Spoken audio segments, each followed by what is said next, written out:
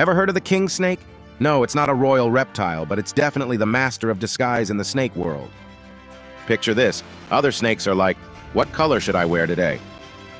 But the king snake's like, why choose when I can wear them all? It's the ultimate fashionista, rocking those rainbow scales like a boss. And talk about the ultimate power move. The king snake's like, hey, coral snake, I'm gonna mimic your colors and confuse the heck out of predators. It's like the snake version of Clark Kent putting on those glasses. But hold up, the mimicry game doesn't stop at colors. The king snake's like, I'm gonna mimic your moves too, Mr. Rattlesnake. It's basically the king of snake dance-offs. If you're in the wild and you spot a snake that's channeling its inner chameleon, just remember, it's not a fashion show, it's the king snake, showing off its mimicry mastery and proving that it's not just a snake, it's a shape-shifting superstar.